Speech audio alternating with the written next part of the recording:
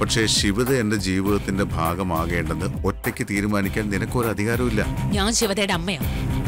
ഞാൻ കഴിഞ്ഞിട്ടേ അവളുടെ മേലെ ആർക്കും അധികാരമുള്ളൂ. ആ അധികാരം ഉപയോഗിച്ച് സ്നേഹം പിടിച്ചു പറ്റാൻ ശ്രമിച്ചതുകൊണ്ടാണ് ഈ വലിയ വീട്ടിൽ നീ ഇപ്പൊ ഒറ്റയ്ക്ക് ജീവിക്കുന്നത്. ഇപ്പോഴും സ്നേഹം കൊണ്ട് ശിവതയെ തിരിച്ചു പിടിക്കാനൊന്നും അല്ല നീ ശ്രമിക്കുന്നത്. അവളെ പറ്റിച്ചും എനിക്കെതിരെ കരുക്കൾ നീക്കിയൊക്കെയാണ് കാരണം നീ എപ്പോഴും ചിന്തിക്കുന്നത് നല്ലൊരു കച്ചവടക്കാരിയായിട്ടാണ് ഒരിക്കലും ഒരമ്മയായോ ഭാര്യയായോ കാമുകിയായോ നിനക്ക് ചിന്തിക്കാൻ കഴിയില്ല ഗായത്രി. കാരണം കച്ചവടത്തിൽ എന്നതുപോലെ നീ ഉണ്ടാക്കുന്ന ബന്ധങ്ങളിലും നീ ജയിക്കാനാ ശ്രമിക്കുന്നത്.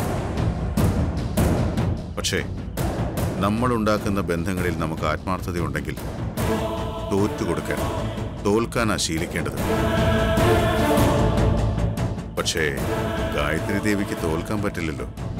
അങ്ങനെ സംഭവിച്ചാൽ ഉരുക്കു വനിതയുടെ പ്രതിച്ഛായ തകരില്ലേ? ഞാൻ ഇതുവരെ ആരും ആത്മാർത്ഥമായിട്ട് സ്നേഹിച്ചിട്ടില്ല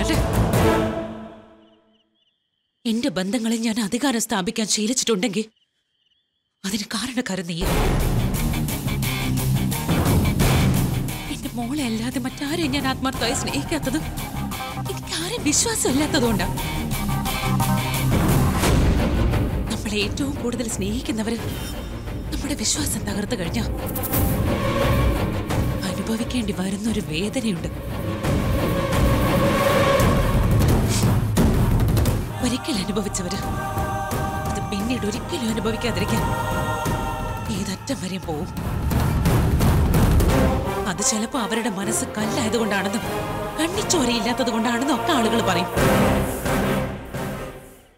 അന്നും ഇന്നും എന്നും ഗായത്രി ദേവി അങ്ങനെയുള്ളവരുടെ അഭിപ്രായം മുഖവിലേക്ക് എടുക്കാറില്ല. ഗായത്രി. നിനക്ക് പറയാനുള്ളതെല്ലാം പറഞ്ഞു കഴിഞ്ഞില്ലേ? എന്നാ പോ നോക്ക്. ഈ കാര്യവും പറഞ്ഞുകൊണ്ട് ഇനി ഇങ്ങോട്ട് വരാൻ നിൽക്കണ്ട. ഇങ്ങോട്ട് വരേണ്ടി വന്നത് എന്റെ ഗതികേടാണ് ഗായത്രി. ഇതോടെ എന്റെ ജോലി കഴിഞ്ഞു. ഇനി ശിവത എന്നെ കുറ്റപ്പെടുത്തില്ല. എനിക്കത്രേ മതി. Good night.